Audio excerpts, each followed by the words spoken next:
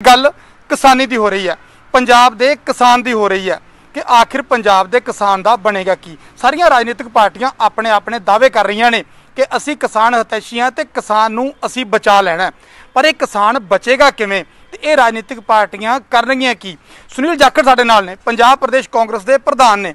ਜਾਖੜ ਸਾਹਿਬ, ਕਿਸਾਨ ਦੀ ਹਾਲਤ ਅਗਰ ਤੁਸੀਂ ਸੋਚਦੇ ਹੋ ਤਾਂ ਮੈਨੂੰ ਲੱਗਦਾ ਹੈ ਕਿ ਫਿਕਰ ਤੋਂ ਬਿਨਾ ਅੱਜ ਹੱਥ ਪੱਲੇ ਕੁਝ ਲੱਗਦਾ ਨਹੀਂ। ਤੁਹਾਡੀ ਕੀ ਰਣਨੀਤੀ ਹੈ? ਲੱਗਦਾ ਹੈ ਕਿ ਪੰਜਾਬ ਦਾ ਕਿਸਾਨ ਬਚੇਗਾ। ਜਿਸ ਕਿਸਮ ਦਾ ਰਵਈਆ ਮੋਦੀ ਸਾਹਿਬ ਦੀ ਸਰਕਾਰ ਦਾ ਹੈ, ਉਹਨਾਂ ਨੇ ਜਿੱਦ ਫੜ ਰੱਖੀ ਆਪਣੀ ਜਿੱਦ ਪੁਗਾਣਗੇ। ਜਿਸ ਤਰ੍ਹਾਂ ਉਹਨਾਂ ਨੇ ਜਿ- ਇਹਨਾਂ ਦੇ ਅਸਤੀਫੇ ਨੂੰ ਲਿਆ ਮੇਰਾ ਮੰਨਣਾ ਹੈ ਜੇ ਕਿਤੇ ਅਸਤੀਫੇ ਦੇ ਆਪਸ 'ਚ ਇਹਨਾਂ ਦਾ ਜਿੱਡਾ ਪਿਆਰ ਹੈ ਕਿ ਨਹੀਂ ਹੈ, ਜੋ ਕੁਝ ਹੈ, ਉਹ ਇੱਕ ਥਾਂ ਹੈ, ਪਰ ਇੱਕ ਬੇਸਿਕ ਜਿਹੜਾ ਸ਼ਿਸ਼ਟਾਚਾਰ, ਸੱਭਿਆਚਾਰ ਜਿਹਨੂੰ ਕਹਿੰਦੇ ਆ ਰਵਾਇਤ ਹੈ, ਉਹ ਦੇਖਦੇ ਆ ਜਦੋਂ ਅਸਤੀਫੇ ਦੀ ਗੱਲ ਆਈ, ਉਦੋਂ ਫਰਜ਼ ਬਣਦਾ ਸੀ ਮੋਦੀ ਸਾਹਿਬ ਦਾ ਵੀ ਮੁੱਢਲੇ ਜਿਹੜੇ ਇਹਨਾਂ ਦੇ ਹੈਗੇ ਫੰ- ਫਾਊਂਡਿੰਗ ਮੈਂਬਰ ਜਿਹੜੇ ਘੱਟੋ ਘੱਟ ਬਾਦਲ ਸਾਹਿਬ ਨਾਲ ਜ਼ਰੂਰ ਗਰ- ਗੱਲ ਕਰਦੇ ਪ੍ਰਧਾਨ ਮੰਤਰੀ, ਵੀ ਬਾਦਲ ਸਾਹਿਬ ਆ ਜੋ ਕੁਝ ਕਰ ਰਹੇ ਤੁਹਾਡੇ ਜਵਾਕ ਬੜੇ ਕਰੜੇ ਜਿਗਰਾ ਕਰਕੇ ਮੈਂ ਤੋਂ ਅਸਤੀਫਾ ਮਨਜ਼ੂਰ ਕਰਨਾ ਪੈ ਰਿਹਾ। ਉਹਨਾਂ ਨੇ ਬਾਦਲ ਸਾਹਿਬ ਨਾਲ ਗੱਲ ਹੀ ਨਹੀਂ ਕੀਤੀ। ਸੁਖਬੀਰ ਤੇ ਹਰਸਿਮਰਤ ਜੀ ਨਾਲ ਤਾਂ ਕੀ ਗੱਲ ਕਰਨੀ ਸੀ? ਬਾਦਲ ਸਾਹਿਬ ਨੂੰ ਵੀ ਨਹੀਂ ਕੋਈ ਫੋਨ ਕੀਤਾ। ਇਹਦੇ ਨਾਲ ਆ ਤਾਂ ਉਹਨਾਂ ਦਾ ਆਪ ਦਾ ਮਸਲਾ ਹੈ। ਇਹਦੇ ਵਿੱਚ ਮੈਨੂੰ ਆ ਲੱਗਦਾ ਵੀ ਇੱਥੇ ਅਹੰਕਾਰ ਨਜ਼ਰ ਆ ਰਿਹਾ ਹੈ। ਇਹਨਾਂ ਦਾ ਤਿਰਸਕਾਰ ਜਿਹੜੀ ਮਾੜੀ ਨਿਗਾਹ ਨਾਲ ਪੰਜਾਬ ਦੇ ਕਿਸਾਨ ਨੂੰ ਦੇਖਦੇ ਆ, ਕਿਉਂਕਿ ਇੱਕ ਇਹਨਾਂ ਦੀ ਆਪ ਦੀ ਪਾਰਟੀ, ਇਹਨਾਂ ਦੀ ਭਾਈਵਾਲ ਪਾਰਟੀ ਸੀਗੀ। ਸੁਖਬੀਰ ਜੀ ਕਹਿ ਰਹੇ ਵੀ ਕਿਸਾਨਾਂ ਦੇ ਬਹੁਤ ਖਦਸੇ ਹੈ ਉਹਨਾਂ ਦੀ ਸੁਣ ਲਓ। ਘੱਟੋ ਘੱਟ ਬਾਦਲ ਸਾਹਿਬ ਨੂੰ ਵੀ ਪੁੱਛ ਲੈਂਦੇ, ਮੋਦੀ ਸਾਹਿਬ ਵੀ ਮਸਲੇ ਕੀ ਹੈ ਮੈਂ ਹੱਲ ਕਰਵਾ ਦਿਆਂ। ਕਾਨੂੰਨ ਪਾਸ ਕਰ ਲੈਣ ਤੇ ਮੈਂ ਮਸਲੇ ਹੱਲ ਕਰਵਾ ਦਿੰਦਾ ਆਹ ਦਿਖਾਉਂਦਾ ਹੈ ਵੀ ਕਿੱਡਾ ਅਹੰਕਾਰ ਹੈ ਉੱਥੇ। ਕਿਸਾਨਾਂ ਪ੍ਰਤੀ ਕੋਈ ਉਹਨਾਂ ਦੀ ਚਿੰਤਾ ਨਹੀਂ। ਇਸ ਕਰਕੇ ਮਾੜੇ ਦਿਨ ਨਜ਼ਰ ਆ ਰਹੇ ਮੈਨੂੰ। ਕਿਉਂਕਿ ਅਸੀਂ ਸਾਰਾ ਰੌਲਾ ਪਾਵਾਂਗੇ, ਸਾਰਾ ਕੁਝ ਕਰਾਂਗੇ। ਇੱਕ ਤਾਂ ਸਾਨੂੰ ਆਸ ਦਿਸਦੀ ਹੈ ਵੀ ਕੈਪਟਨ ਸਾਹਿਬ ਨੇ ਕਿਹਾ ਵੀ ਅਸੀਂ ਕੋਰਟ 'ਚ ਚੈਲੰਜ ਕਰਾਂਗੇ।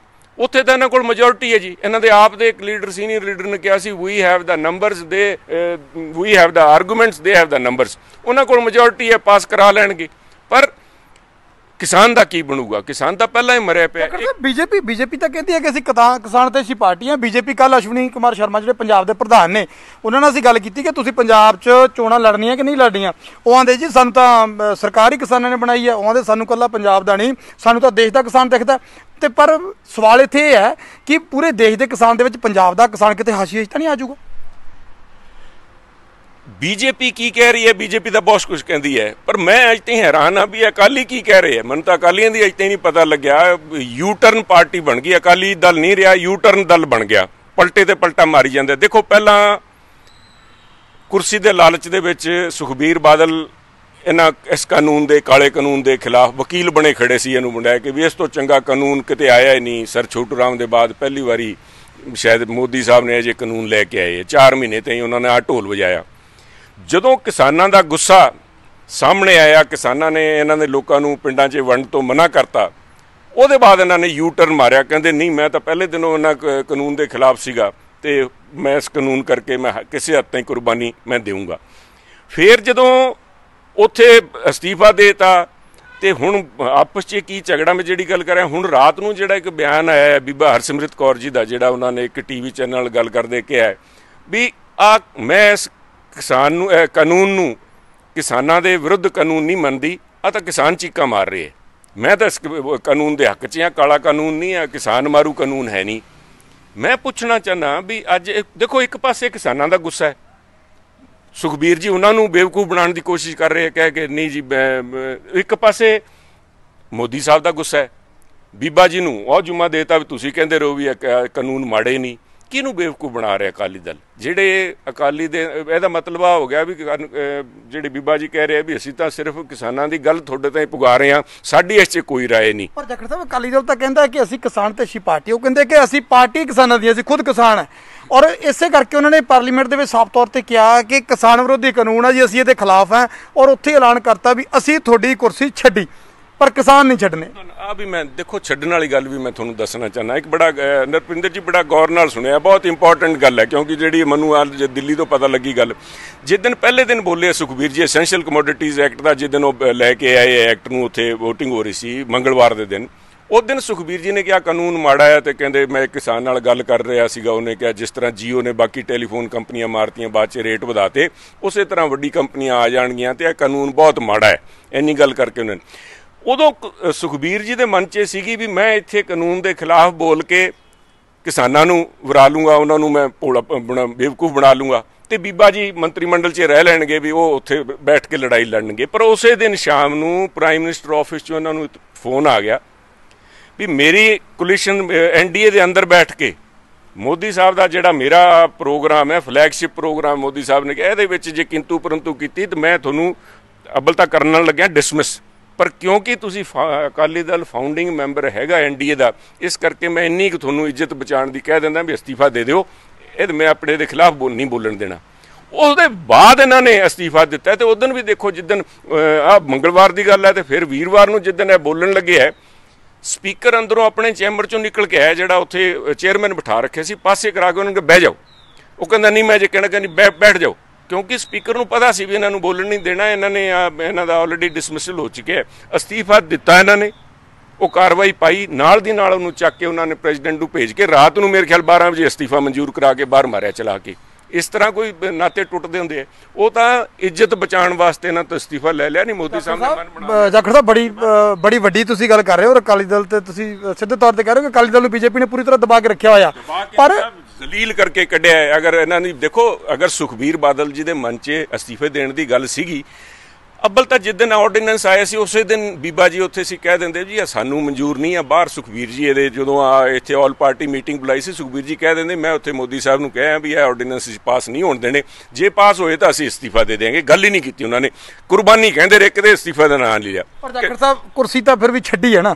ਇਹ ਤਾਂ ਗੱਲ ਤੁਹਾਨੂੰ ਵੀ ਮੰਨਣੀ ਪਊ ਕੁਰਸੀ ਛੱਡਤੀ। ਛਡਾਈ ਹੈ ਸਾਹਿਬ ਮਜਬੂਰੀ 'ਚ ਮੈਂ ਇਧਰ ਜਾਊਂ ਕਿ ਮੈਂ ਉਧਰ ਜਾਊਂ ਬੜੀ ਮੁਸ਼ਕਿਲ ਮੇ ਹੂੰ ਮੈਂ ਕਿੱਧਰ ਜਾਊਂ? ਨਾ ਹੁਣ ਇਧਰ ਦੇ ਰਹੇ ਨਾ ਉਧਰ ਦੇ ਰਹੇ। ਉਧਰ ਮੋਦੀ ਸਾਹਿਬ ਨਾਰਾਜ਼ ਹੋ ਗਏ ਇੱਧਰ ਕਿਸਾਨਾਂ ਨੇ ਆ ਜਿਹੜਾ ਇਹਨਾਂ ਨੇ ਅਸਤੀਫਾ ਦਿੱਤਾ ਸੀ ਨਾ, ਇਹ ਲਿਆ ਜਿਹੜਾ ਇਹਨਾਂ ਤੋਂ, ਇਹਨਾਂ ਨੂੰ ਇਹ ਹੋ ਗਿਆ ਵੀ ਇਹਦੇ ਨਾਲ ਘੱਟੋ ਘੱਟ ਸਾਨੂੰ ਜਿਵੇਂ ਇਹਨਾਂ ਦੀ ਬੱਸਾਂ ਚੱਲਦੀਆਂ ਆਰਬਿਟ ਪਰਮਿਟ ਲੈਣਾ ਪੈਂਦਾ ਇਹਨਾਂ ਨੂੰ ਇਹ ਹੈ ਕਿ ਸਾਨੂੰ ਪਰਮਿਟ ਮਿਲ ਗਿਆ ਪੰਜਾਬ 'ਚ ਵਾਪਸ ਜਾਣ ਦਾ, ਜਿਹੜੇ ਕਿਸਾਨ ਬਾਦਲ ਪਿੰਡ ਘੇਰੀ ਬੈਠੇ ਐ ਬਾਕੀ ਥਾਵਾਂ ਤੇ ਘੇਰੀ ਬੈਠੇ ਐ ਉਹਨਾਂ ਨੂੰ ਇਹ ਹੋ ਗਿਆ ਵੀ ਹੁਣ ਸਾਨੂੰ ਪਰਮਿਟ ਮਿਲ ਗਿਆ। ਤੇ ਉਹ ਪਰਮਿਟ ਤਾਂ ਫੇਰ ਪਾੜਿਆ ਗਿਆ। ਅੱਜ ਰਾਤ ਬੀਬਾ ਜੀ ਦਾ ਤੁਸੀਂ ਪਤਾ ਨਹੀਂ ਬਿਆਨ ਸੁਣਿਆ ਕਿ ਨਹੀਂ? ਕਹੋ ਤਾਂ ਮੈਂ ਤੁਹਾਨੂੰ ਦਿਖਾਵਾਂ ਟੈਲੀਵਿਜ਼ਨ ਤੇ ਉਹਨਾਂ ਦੀ ਉਹ ਟੈਲੀਫੋਨ ਤੇ ਜਿੱਥੇ ਕਹਿ ਰਿਹਾ ਵੀ ਮੈਂ ਨਹੀਂ ਕਹਿ ਰਹੀ ਵੀ ਆ ਕਾਨੂੰਨ ਕਿਸਾਨਾਂ ਦੇ ਵਾਸਤੇ ਮਾੜਾ ਹੈ। ਕਿਸਾਨ ਕਹਿ ਰਹੇ ਪਰ ਜਾਖੜ ਸਾਹਿਬ, ਅਕਾਲੀ ਦਲ ਨੇ ਅੱਜ ਸਪਸ਼ਟ ਕਰਤਾ।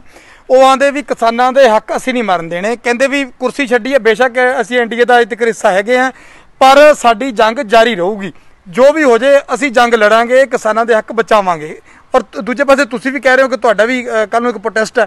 ਤੁਹਾਡੇ ਯੂਥ ਕਾਂਗਰਸ ਦਾ, ਤਾਂ ਇਸ ਪੂਰੇ ਘਟਨਾਕ੍ਰਮ ਦੇ ਵਿੱਚ ਲੱਗਦਾ ਕਿ ਅਕਾਲੀ ਦਲ ਤੇ ਤੁਸੀਂ ਚਾਹੇ ਕਾਂਗਰਸ ਹੋ ਬੇਸ਼ੱਕ ਅੱਡੋ ਅੱਡੀ ਹੋ, ਪਰ ਕਿਸਾਨਾਂ ਦੇ ਹੱਕ ਬਚਾ ਸਕੋਗੇ? ਪਹਿਲੇ ਆਪਣਾ ਹੀ ਮਨ ਤਾਂ ਸਾਫ਼ ਕਰਨੋ ਕਿੱਥੇ ਖੜੇ ਐ? ਬੀਬਾ ਜੀ ਕੁਝ ਕਹਿ ਰਹੇ ਐ, ਸੁਖਬੀਰ ਜੀ ਕੁਝ ਕਹਿ ਰਹੇ ਐ, ਘਰ 'ਚ ਰੌਲਾ ਪਿਆ ਖੜਾ ਹੈ ਪਾਰਟੀ 'ਚ ਕਿੱਡਾ ਵੱਡਾ ਰੌਲਾ ਪਿਆ ਖੜਾ ਹੈ ਕੁਝ ਕਹਿੰਦੇ ਜੱਫਾ ਪਾਈ ਰੱਖੋ, ਇਹਨਾਂ ਨੂੰ ਬੀਜੇਪੀ ਨੂੰ ਨਾ ਛੱਡੋ, ਕਿਉਂਕਿ ਕਈ ਕੇਸ ਖੁੱਲਣ ਵਾਲੇ ਪਏ ਐ। ਦੇਖੋ, ਕਈ ਕਿਸਮ ਦੀਆਂ ਉੱਥੇ ਕੰਸੀਡਰੇਸ਼ਨਸ ਹੈਗੀਆਂ, ਜਦੋਂ ਕੋਰ ਕਮੇਟੀ ਦੀ ਗੱਲ ਕਰਦੇ ਸੁਖਬੀਰ ਜੀ, ਕੋਰ ਕਮੇਟੀ ਨਹੀਂ, ਉਸ 'ਚ ਇਹਨਾਂ ਦੀ ਗਰਦਨ ਬੀਜੇਪੀ ਦੇ ਹੱਥ 'ਚ ਹੈ ਨਹੀਂ ਤਾਂ ਗੱਲ ਕਰ ਲੈਂਦੇ, ਨਹੀਂ ਤਾਂ ਇਹਨਾਂ ਨੂੰ ਮਨਾ ਲੈਂਦੇ। ਹਰੇਕ ਕੋਸ਼ਿਸ਼ ਕਰਦਾ ਵੀ ਆਪ ਦਾ ਕੋਈ ਐਡਾ ਪੁਰਾਣਾ ਸਾਥ ਰਿਹਾ ਕਹਿੰਦਾ ਅਸੀਂ ਐਮਰਜੈਂਸੀ 'ਚ ਨਾਲ ਰਹੇ ਹਾਂ, ਬਾਅਦ 'ਚ ਰਹੇ ਹਾਂ। ਕਿਸੇ ਨੇ ਮਨਾਉਣ ਦੀ ਕੋਸ਼ਿਸ਼ ਹੀ ਨਹੀਂ ਕੀਤੀ। ਉਲਟੀ ਦੇ ਅਸ਼ਵਨੀ ਸ਼ਰਮਾ ਜੀ ਕਹੀ ਜਾਂਦੇ ਵੀ ਕੱਲ ਤਾਂ ਹੀ ਤਾਂ ਸਾਡੀ ਬੋਲੀ ਬੋਲੀ ਜਾਂਦੇ ਸੀ, ਇਹਨਾਂ ਦੇ ਰਾਤੋਂ ਰਾਤ ਹੋਇਆ ਕੀ ਹੈ? ਜਾਖੜ ਸਾਹਿਬ ਆਖਰੀ ਇੱਕ ਮਿੰਟ ਸਾਡੇ ਕੋਲੇ ਮੈਂ ਲਾਸਟ ਸਵਾਲ ਪੁੱਛਣਾ ਚਾਹੂੰਗਾ ਕਿ ਪ੍ਰੇਮ ਸਿੰਘ ਚੰਦੂ ਮਹਾਰਾਜ ਨੇ ਕਿਹਾ ਕਿ ਸਾਰੇ ਦਲ ਇਕੱਠੇ ਹੋ ਜਾਓ ਜੇ ਕਿਸਾਨ ਬਚਾਉਣੇ ਆ, ਸਾਰੀਆਂ ਜਥੇਬੰਦੀਆਂ ਇਕੱਠੀਆਂ ਹੋ ਜਾਓ। ਤੁਸੀਂ ਉਹਨਾਂ ਦੇ ਇਸ ਸੱਦੇ ਨੂੰ ਮੰਨਦੇ ਹੋ? ਪਹਿਲਾਂ ਸਾਰੇ ਇਕੱਠੇ ਹੋ ਗਏ, ਅਕਾਲੀ ਦਲ ਵਾਲੇ, ਸਾਰਾ ਪਰਿਵਾਰ ਸਾਰੇ ਇਕੱਠੇ ਹੋ ਕੇ ਆ ਤਾਂ ਕਹਿ ਦੇਣ ਵੀ ਆ ਜਿਹੜੀ ਬੀਜੇਪੀ ਸਰਕਾਰ ਹੈ ਆ ਕਿਸਾਨ ਮਾਰੂ ਸਰਕਾਰ ਹੈ ਆ ਤਾਂ ਇਕੱਠੇ ਹੋ ਕੇ ਕਹਿ ਦੇਣ ਸੁਖਬੀਰ ਜੀ ਤੇ ਹਰਸਿਮਰਤ ਜੀ, ਦੋਨੋਂ ਇਕੱਠੇ ਹੋ ਕੇ ਤੇ ਨਾਲ ਪਾਰਟੀ ਵਾਲਾ ਸਾਰਾ ਲਾਣਾ ਇਕੱਠਾ ਹੋ ਕੇ ਆ ਤਾਂ ਕਹਿ ਦੇਵੇ ਵੀ ਆ ਕਾਨੂੰਨ ਮਾੜੇ ਹੈ। ਘਰ ਦੇ ਵਿੱਚ ਹੀ ਦੋ ਫਾੜ ਹੋਇਆ ਖੜਾ, ਫਿਰ ਕਿਹਦੇ ਕਿਹਦੇ ਨਾਲ ਚੱਲਾਂਗੇ? ਅਸੀਂ ਸੁਖਬੀਰ ਜੀ ਨੂੰ ਰਾਜੀ ਰੱਖਾਂਗੇ ਬੀਬਾ ਜੀ ਨੂੰ ਨਾਲ ਲੈ ਕੇ ਚੱਲਾਂਗੇ। ਉਹ ਤਾਂ ਕਹਿ ਰਹੇ ਕਾਨੂੰਨ ਮਾੜੇ ਨਹੀਂ, ਉਹ ਤਾਂ ਕਿਸਾਨ ਰੌਲਾ ਪਾ ਰਹੇ ਕਿਸਾਨ ਬੇਵਕੂਫ ਮੰਨਦੇ ਐ ਇਹ ਜਿਹੜੇ ਲੋਕ ਕਿਸਾਨਾਂ ਦੀ ਲੀਡਰੀ ਕਰਨ ਦੀ ਗੱਲ ਕਰਦੇ ਸੀ, ਕਿਸਾਨਾਂ ਨੂੰ ਬੇਵਕੂਫ ਦੱਸ ਰਹੇ ਆ ਕਿਸਾਨਾਂ ਨੂੰ ਬੇਵਕੂਫ ਬਣਾਉਣ ਦੀ ਕੋਸ਼ਿਸ਼ ਕਰ ਰਹੇ ਆ ਇਸ ਸਾਰੇ ਪ੍ਰਯਾਸ ਦੇ ਵਿੱਚ ਬੇਵਕੂਫ ਖੁਦ ਬਣ ਰਹੇ ਅੱਜ ਜਿੰਨਾ ਮਾੜਾ ਹਾਲ ਅਕਾਲੀ ਦਲ ਦਾ ਹੋਇਆ ਮੇਰੇ ਖਿਆਲ ਬਾਦਲ ਸਾਹਿਬ ਨੂੰ ਪਿੰਡ ਬੈਠੇ ਰੋਣਾ ਆਉਂਦਾ ਵੀ ਇਹ ਕਰਵਾਇਆ ਕੀ ਹੈ ਇਹਨਾਂ ਨੇ? ਤਾਂ ਸੁਨੀਲ ਜਾਖੜ, ਸਿੱਧੇ ਤੌਰ ਤੇ ਅਕਾਲੀ ਦਲ ਨੂੰ ਜ਼ਿੰਮੇਵਾਰ ਠਹਿਰਾ ਰਹੇ ਨੇ ਕਿ ਬੇਸ਼ੱਕ ਕੇਂਦਰੀ ਕੁਰਸੀ ਛੱਡ ਦਿੱਤੀ ਹੈ।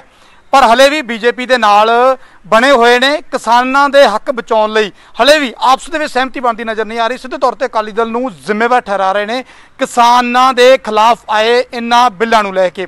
ਫਿਲਹਾਲ ਨਿਊਜ਼ 18 ਪੰਜਾਬ ਤੇ ਇੰਨਾ ਹੀ। ਮੈਨੂੰ ਨੁਪਿੰਦਰ ਸਿੰਘ ਬਰਾੜ ਨੂੰ ਇੱਕ ਵਾਰ ਦਿਓ ਇਜਾਜ਼ਤ। ਅੱਗੇ ਹੋਰ ਖਬਰਾਂ ਲੈ ਕੇ ਫਿਰ ਤੋਂ ਹਾਜ਼ਰ ਹੋਵਾਂਗੇ। ਤਦ ਤੱਕ ਲਈ ਧੰਨਵਾਦ।